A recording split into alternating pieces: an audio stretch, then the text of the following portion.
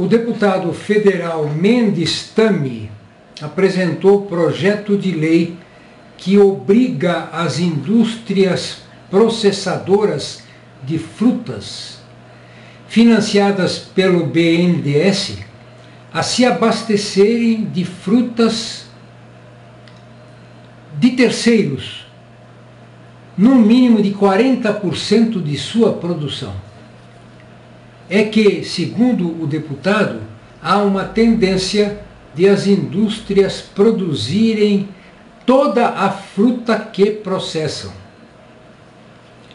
Eu considero o projeto inadequado, pois o comércio tem que ser livre, sem protecionismo algum. O que precisa ser limitado é o papel do BNDES. Bancos públicos não deveriam nem existir. Até a próxima.